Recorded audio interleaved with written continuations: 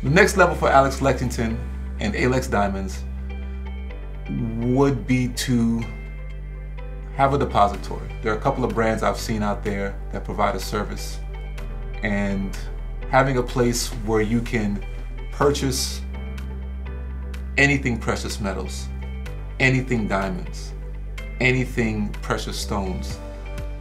Buy it, store it, sell it in one location. That is the goal that I have, or the vision that I have for A'lex Diamonds and Alex Lexington here in the city of Atlanta.